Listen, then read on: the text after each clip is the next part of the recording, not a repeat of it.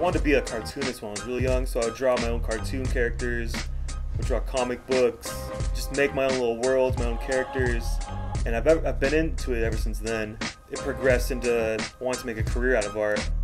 Back in high school, I had this great art teacher, and she kind of just pushed me, she let me do what I wanted to do.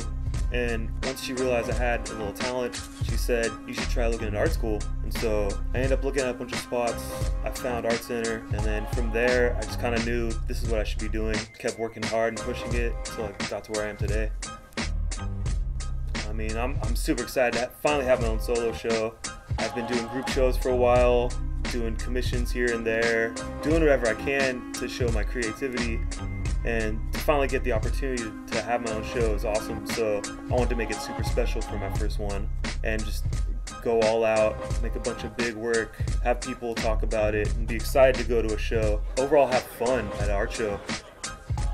For the installation piece, I wanted to set an atmosphere, an environment for my paintings. So when you walk into the gallery, you're walking into the paintings, and you're gonna be able to peek in, see see the food, see the Hall of Fame of people who ate there, see famous celebrities who's, who've eaten there.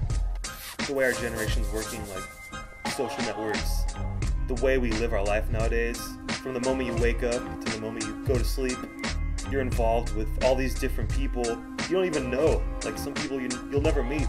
And you get bombarded with all this information. It could be pointless, it could be vital to you. It's like stupid nonsense, but it's it all becomes a part of you and you're getting this vast amount of information. Information, you know, it's all you can eat, whether you like it or not. My name's Sean Norvet, and I'm an artist from Los Angeles, California.